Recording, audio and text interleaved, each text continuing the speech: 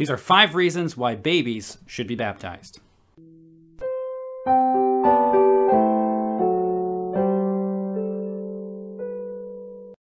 The first reason is that baptism is not man's work, but it is indeed God's work.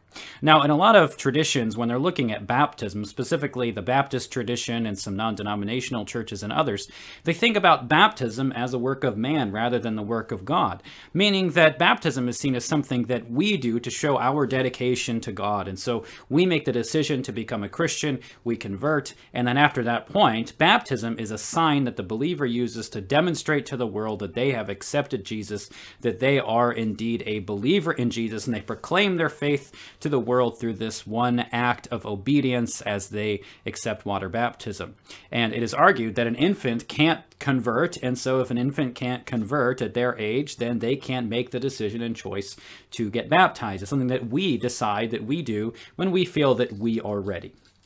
Now, that view of baptism is simply not what Scripture teaches. Scripture doesn't teach that baptism is our work, but Scripture teaches that baptism is God's work. Just look, take a look at some of the texts uh, about baptism. Read through the New Testament and look at every verse that talks about baptism.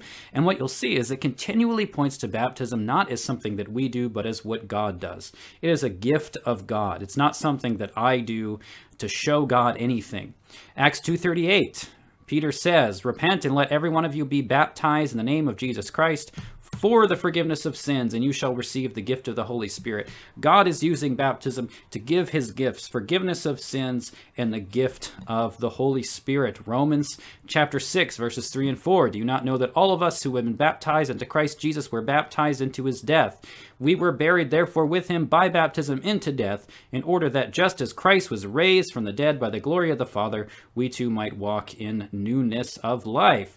And so we are told that we are baptized into Christ's death. I don't baptize myself into Christ's death. It's God's gift to me that he baptizes me into Christ's death. And if as scripture teaches, baptism is something that God does, not something that I do, then it doesn't matter if you are a certain age, if you are able to comprehend a certain amount of stuff, or if you're able to make a right decision. It is a gift of God, and He wants to give it to all. The second reason because infants are sinners. And as we've seen, as you look through scripture, baptism is always connected to the forgiveness of sins. As we saw in Acts 2.38, in 1 Peter 3.21, we're told that baptism now saves you through the resurrection of Jesus Christ. Uh, scripture speaks of us being born again of water and the Spirit. We are cleansed of our sins in baptism. Acts 22 16. Rise and be baptized and wash away your sins, calling on his name. And so, if baptism is for the forgiveness of sins, we have to ask the question well, who's a sinner? Because all sinners need to be baptized. And as we look at scripture, it's very clear that infants are indeed sinners. David says in the Psalms that in sin did his mother conceive him. So even from the moment of conception, as Psalm 51 uh, 5 says, that in sin we are conceived. And that means that we are sinners from even conception, and so we need to be baptized as soon as we can. Other scriptures speak about how all people have sinned and fallen short of the glory of God, and there is no one excluded from that, which explicitly then includes infants. So if infants are sinners, they need to receive the gift of holy baptism. The third reason is that infants can indeed believe. Uh, it's argued by a lot of people that infants can't believe, that you have to be at a certain age where you can believe and then you get baptized after that. And so, because infants can't indeed believe, therefore infants should not get baptized. But does Scripture really teach that infants can't believe? Well, the one thing we have to understand about faith in the biblical sense is that faith is a gift of God. Faith is not something that I do, but it's something that God gives to us. And if faith is indeed the work of God, it's something the Holy Spirit does for us and gives to us, then the Holy Spirit can give it to whoever he wants. He's not limited so that he has to wait until we're at a certain age or we have a certain, you know, intellectual ability before he can give the gift of faith. God gives the gift of faith when God desires to give the gift of faith. And scripture does teach that there are infants that do indeed have faith. Uh, we can look at several examples of this in the Bible. Uh, one of those is John the Baptist, the most famous. John the Baptist leaps in the womb, Luke 1 41. And so John the Baptist has faith even before he's born. God can give him the gift of faith, and he believes in Jesus and he rejoices in the coming Messiah. This isn't just John the Baptist, but in Psalm 22, verses 9 and 10, David states that he has faith in God since he is at his mother's breast. He is breastfeeding and he has faith in God. In God. Psalm 71, the psalmist says that he believes in God at this time as well, even as an infant. And uh, we see Jesus even praising the faith of children, but not just the faith of children, remember. Uh, in Luke 18, we see that Jesus actually praises specifically the faith of the children who are brought to him. So scripture is very clear that infants do and can indeed have faith because faith is a gift of God. And so if then faith is something something that's necessary for baptism that still does not exclude infants because they too can be given the great gift of faith by the power of the holy spirit the fourth reason is because Scripture speaks repeatedly about household baptisms. And many people say there are no examples in Scripture at all of infant baptisms, and that in Scripture, everyone who believes in Jesus is baptized. They repent, they believe, and then they're baptized. But Scripture actually has several examples of not just that, but of several households that are baptized. Uh, and we see several instances where someone is baptized, and then following their baptism, their entire household receives the gift of holy baptism as well. And so we see the examples of Lydia in Acts 16.5, the Philippian jailer, Acts 16.33 through 34, Stephanos, 1 Corinthians chapter 1, verse 16, and Cornelius, Acts 11, verse 14. And these are just some examples of people that we know had households, which means they had children. And as soon as they received the gift of baptism, the children receive it as well. So we don't have any examples of somebody in Scripture who we know has children they're converted to the faith and then don't baptize their children.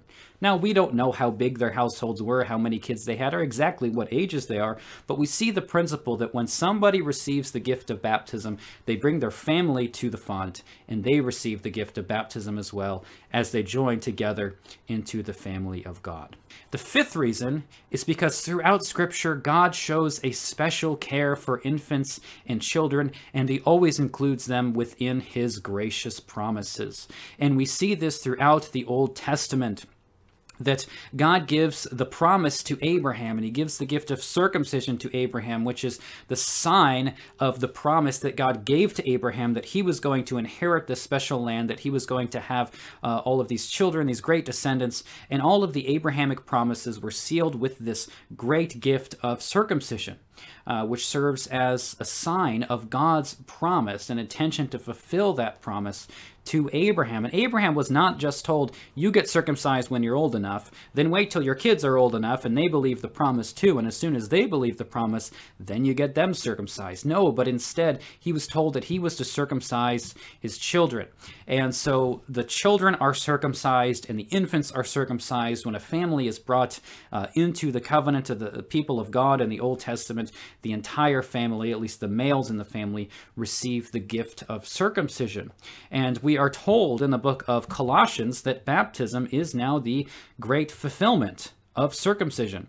And in that act of holy baptism, the infants why would they not be brought into the covenant as well? One of the things we see is that in the old covenant, things are less inclusive. They are more exclusive than they are in the new covenant. In other words, the new covenant brings in more people instead of excluding people. So while circumcision was something that was only received by the males, for example, baptism now in the new covenant is received by both males and females. Circumcision was for the Jews and those who would submit to Jewish law. Uh, and now baptism is for all people of all nations, as Christ says in the Great Commission. And so, if that's the case, the pattern is always uh, from a more exclusive group to a more inclusive group, then of course the infants would remain. There's no reason to assume that God now says, now infants aren't included. And if God did do that, he'd have to be pretty explicit because if you're circumcising your family, you're thinking in terms of family, guess what? When baptism comes along, that's just what you're going to do unless you are told explicitly that something has changed. And that promise for children extends throughout the New Testament. In Acts chapter 2, when baptism is tied to repentance and the forgiveness of sins, we are also told that the promise is for you and for your children, and then those who are afar off. All that the Lord God calls to himself. And so baptism is received by those people who believed, then it's given to the children, and then the message goes out to those who are far off, those Gentiles that God calls to himself as the apostles go throughout then the book of Acts and fulfill that promise as they bring the gospel to the Gentiles. And scripture is so clear about the inclusion of children.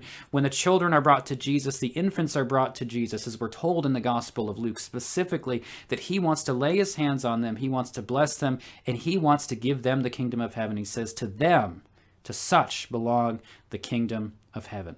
So, who are we to say that infants can't be included in God's gracious promises, which are received in holy baptism? And so, if infants are sinners, they are also recipients of God's grace, and we should administer the holy sacrament of baptism to all infants who come to that font, that they may hear and receive the good news of Jesus Christ.